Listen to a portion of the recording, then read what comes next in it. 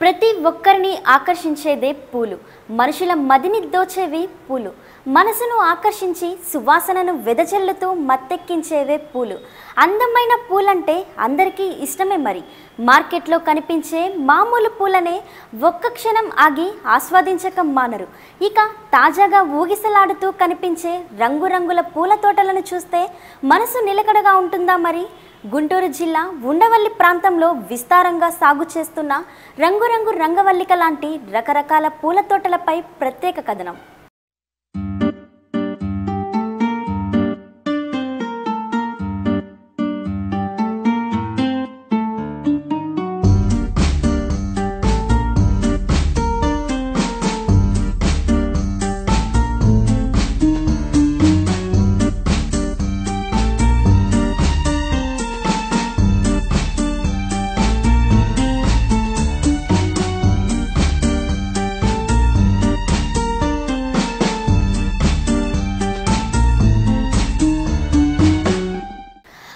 ఉదయాన్నే లేచింది మొదలు రాత్రి పడుకునే వరకు మానవుని జీవితానికి అతి దగ్గర సంబంధం ఉన్నవే పూలు.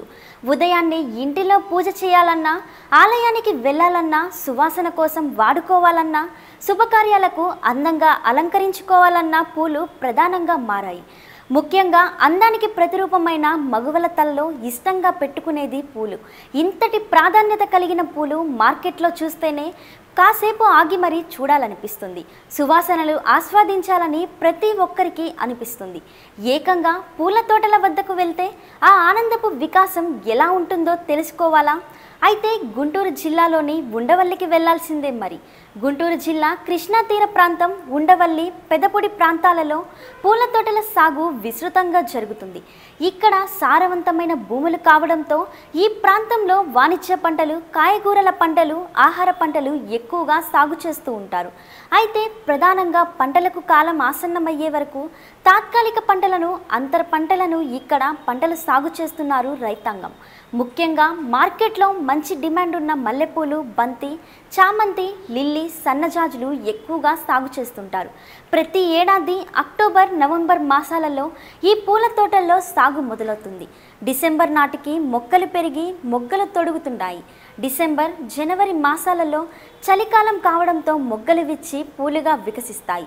ఈ తరుణంలో ఆ ప్రాంతానికి వెళ్ళి మిగిలిన ఎవరికైనా ఒక్కసారి ఆ గట్టువైపు ఎంతసేపైనా ఉండాలనిపిస్తుంది. ఆ పూల సువాసనలు తనివి తీరా ఆస్వాదించాలనిపిస్తుంది. ఒకటి కాదు రెండు కాదు ఒక్కో పూల రకంలో పది రకాల రంగుల్లో చూడడానికి ఆకర్షణీయంగా ఉంటాయి.